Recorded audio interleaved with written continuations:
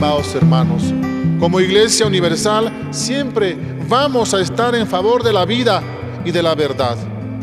Porque si nosotros no hablamos, las piedras hablarán. Lucas 19:40.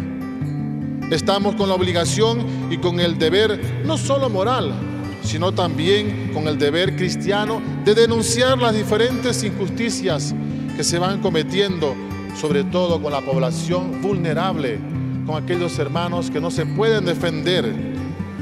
¿Qué clase de cristiano soy yo?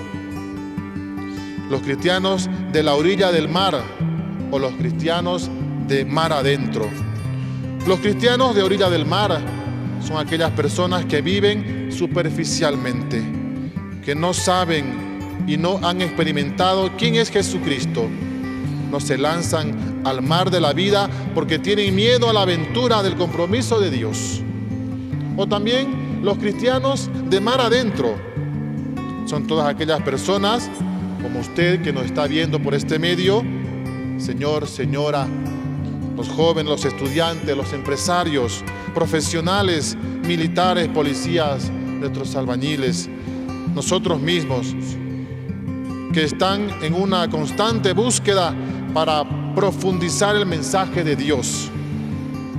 Tienen temor, pero se lanzan a la aventura de la vida cristiana.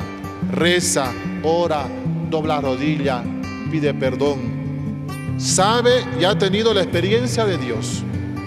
Estimados hermanos, que la experiencia de estar viviendo la terrible pandemia nos enseñe a ver el rostro sufriente de Dios en las personas más necesitadas.